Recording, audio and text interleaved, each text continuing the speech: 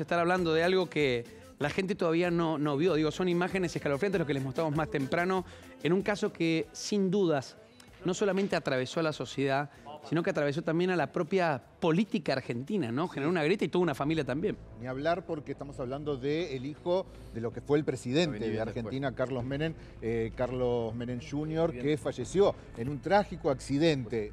Todavía queda plasmado, por lo menos en la biopic, en este documental, que va a hablar todo el mundo, Nico, te digo, va a hablar todo el mundo de esto, porque las imágenes, están muy, pero muy bien hechas, son espeluznantes, de verdad. Tristemente bien hechas, ¿no? esto pasó en la Ruta Nueva. Estamos viendo imágenes de eh, lo que fue la realización de, esta, es, este documental. Hay imágenes más fuertes todavía, te digo. Eh, ese es el protagonista, Santi Raca, que eh, filmaron todo este documental. Muy parecido, ¿eh? ¿eh? y tiene, tiene un parecido también increíble a Carlos Menem Jr. A Carlos Menem Jr. La verdad que, básicamente, como decías vos, ¿no? atravesó la política argentina, atravesó sobre todo a una familia. No, de hecho se habló de esto que planteamos en un principio de un tercer atentado, digo, ¿no? el atentado a la AMIA, Embajada de Israel, y esto se hablaba como un tercer atentado que después... El lema siempre lo planteó como un atentado. Siempre, siempre, siempre, siempre, pero eh, el expresidente de la Nación no, hasta 2014 que sí fue que lo dijo, Después de un tiempo también con un contexto familiar diferente, el expresidente ya abonó... presidente. Claro, ya no siendo presidente y ya he reconciliado también con, un poco con su lema y demás, eh, abonó la teoría de que podría haber sido un atentado. Pero lo cierto es que para la justicia no lo fue. La justicia determinó que hubo una imprudencia eh, al mando del helicóptero que iba a una velocidad, a una velocidad extraña y a una eh, altura no debida para lo, que para lo que era el helicóptero y que por eso eh, perdió el mando de la nave. Habría que evaluar qué es lo que pasó, porque toda la el, gobierno de, Carlos Menem en algún punto tuvo el sello de los atentados y en este sentido también entonces la familia se apoyó en eso para ver si había algún tipo de devolución de favores por parte de la política. De hecho hoy nos visita Antonella, ¿eh? acá está Santo, bienvenida primero, ¿no? Eh, ¿Qué te pasa cuando ves estas imágenes? De Ay, sí, casi me pongo a llorar.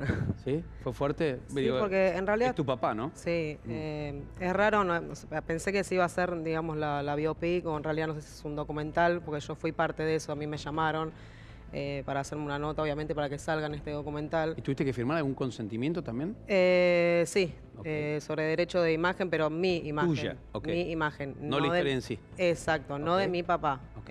eso, no sé si esa parte.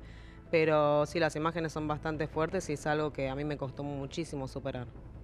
Qué increíble, ¿no? Porque de alguna manera vos nacés y todo ese ruido familiar o todo ese ruido político, vos eras súper chiquitita. Digo, todo ese reconocimiento también fue una gran lucha de tu mamá, a quien aprovecho y le mando un beso muy grande porque la, conozco hace muchos años.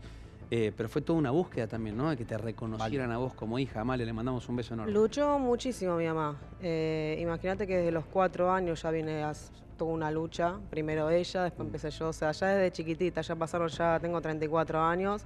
Hace 30 años que vengo luchando. Eh, fueron 25 años que yo supliqué cariño a una familia que nunca me quiso. ¿Y para vos qué pasó?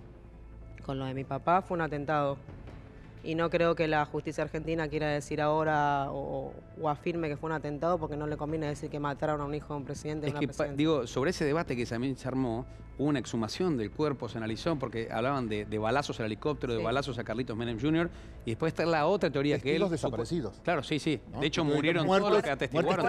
En esa época, si nos remontamos un poco las imágenes de Zulema Yoma, desesperada por tratar de ver qué indicio le pueden dar y material de su hijo. Por eso también eh, toda la lucha fue en solitario. En ese momento el expresidente no abonaba esa teoría, no tenía vínculo tampoco eh, eh, familiar con Zulema Yoma y ella estaba sola apoyada muchas veces por su lemita en tratar de ver de qué se trataba todo esto lo que estaba pasando, si realmente fue un accidente o si era como ella pensaba que fue un atentado.